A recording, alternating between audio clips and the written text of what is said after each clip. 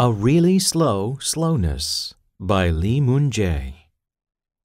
Outside the window, a magnolia was pushing forth white buds. I thought that the young flowers looked like toothpaste that spring has squeezed out. Ah, I overslept. Without time to brush my teeth, I rushed out.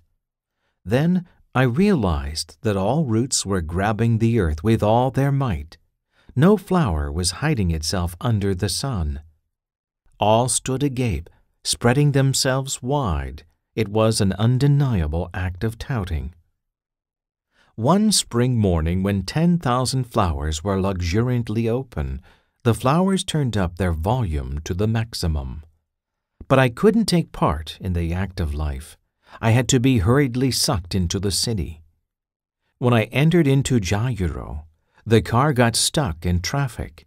It moved slower than the flowing river. Slow things should be slow.